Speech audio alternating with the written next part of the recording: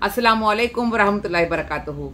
Esteemed people, I am Fathima Muzaffer, member All India Muslim Personal Law Board and member Indian Union Muslim League. Today, 25th June, is a day that we have to remember our late leader, Ghulam Mahmood Banatwala Rahmatullah alayhi.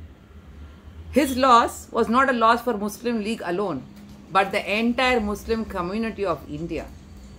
The leader who was a lion in the parliament. We are thankful to the Kerala people and the Maharashtrians for giving such a great leader to the country of India. Being an MLA from Bombay and seven times MP from Ponnani constituency in Malappuram, Kerala, the Indian Union Muslim League got its strength and courage from this great leader, Ghulam Mahmood Banatwala Sahib. Rahmatullahi alayhi. May Allah keep him in the highest abode in Jannah. May Allah accept all that he has done for India and the minorities of India.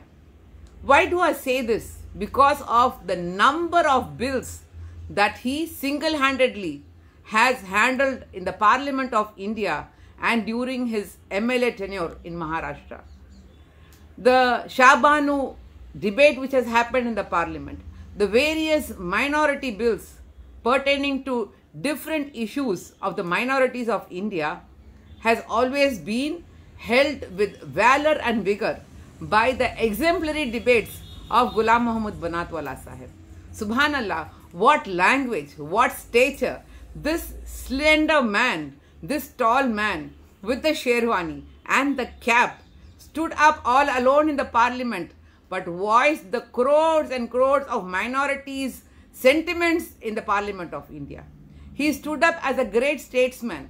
He stood up for the democracy of India. He stood up for the equality of India. And he stood up for the rights of those who had nobody for them to represent. We remember Ghulam Muhammad Banatwala Sahib with all the respect and reverence.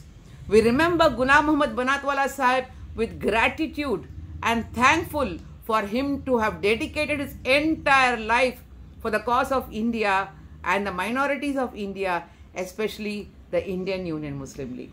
I just want to share one uh, personal experience that I have had with him. I think before he passed away in 2008, it was the last time that I met him, myself and my husband, uh, Muzaffar Sahib. When we were talking to him and I was telling him, uh, sir, you have to regularly come and be with us in Chennai. Uncle, I used to address him as uncle because he was a very close friend of my father, Marhum Abdul Samad Sahib. When Ghulam Muhammad Banatwala Sahib was the president of Indian Union Muslim League, my father was the general secretary of Indian Union Muslim League. So we had him always in high esteem like a fatherly figure, figure for my entire family.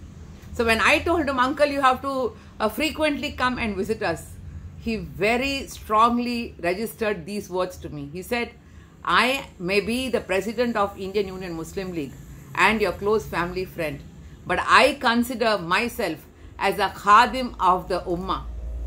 And he said, you know what is a khadim? Khadim is a servant of the community. Do servants sit with the masters? Always? No. The servants are called when they are needed. So, I'm happy that you want me to come very frequently and, and be with you. But remember, I'm a khadim, I'm a servant. When you need me, when the ummah needs me, I will be there to serve them. Subhanallah, what a great word that he said to me.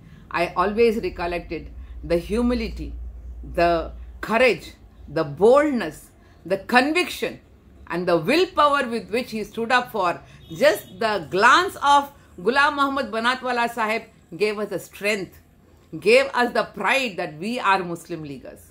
On this day, on behalf of the Indian Union Muslim League and the Muslims and the minorities of India, it's our duty to pray for him.